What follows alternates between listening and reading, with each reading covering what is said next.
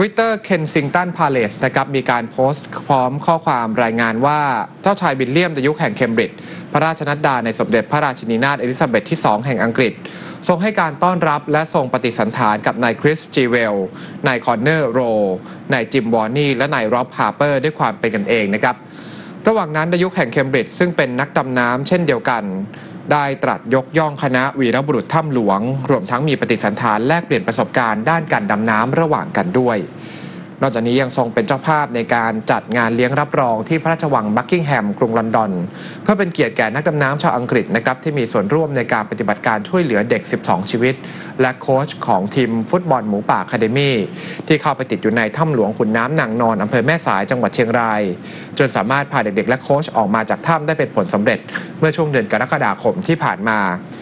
ดยทีมงานชุดนี้เป็นกลุ่มสำคัญนะครับที่คอยช่วยเหลืออยู่เบื้องหลังทุกๆ อย่าง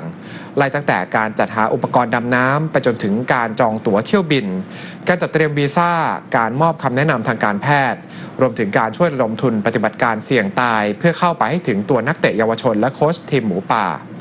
เหตุการณ์นี้มีขึ้นหลังจากที่เด็กเข้าไปติดอยู่ในถ้ำในวันที่ 23 มิถุนายนนะครับลึกเข้าไปหลายกิโลเมตร แล้วก็ติดอยู่ภายในถึง 18 วันครับ